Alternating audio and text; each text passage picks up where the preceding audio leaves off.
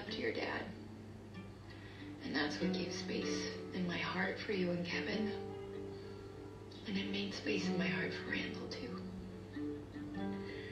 Yeah, a little too much for Randall, if you ask me. Es tremendo porque no pasa nada en la serie, pasan cosas re mundanas, no es que hay tríos o, o una trama como súper compleja, y sin embargo no puedo parar de mirarla, o sea, me llega mucho.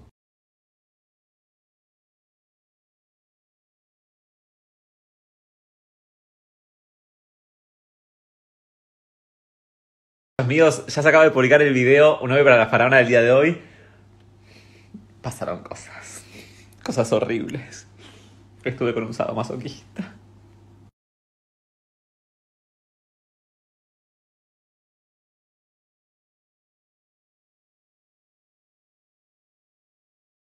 O sea, es enorme, altísimo, fisioculturista, pero una cosa que yo lo veo entrar y digo, cógeme, cógeme, pero a la vez me da miedo porque el tipo me dijo...